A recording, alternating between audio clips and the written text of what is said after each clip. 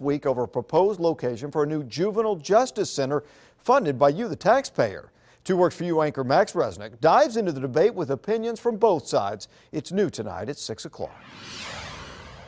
The current Juvenile Justice Center is old, too small, and badly in need of repairs. That's part of the reason many of you voted last year to fund a new center with a 15-year sales tax. One county commissioner has her eye on a structure that already exists, and she believes it could be the right fit, possibly the best fit. But many residents in the neighborhood say they don't want it. From Chris Murphy to find some other place to Robert Patterson. It's very, very concerning. To William Tullison.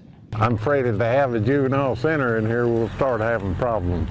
The thought of turning the Laura Dester Center, which will close this year, into the Juvenile Justice Center isn't all that appetizing. From my standpoint, the state representative for the district says he's having trouble with the idea too. I'm just frustrated that we're using people's own tax dollars to effectively lower their property values without their not only without their consent but without their knowledge. Tulsa County Commissioner Karen Keith says this is not the case. You'll have 250 professionals coming and going every day from that facility. And so I looked I drove around and looked at the business neighborhood. There's some restaurants there. There's one that's closed down. You'll likely see that reopen. Keith says the Laura Dester Center could be the best spot for the Juvenile Justice Center. The cottages will work for us for some transitional housing. And then the administrative building has room for all the ancillary agencies that help us make juvenile successful with all these great programs.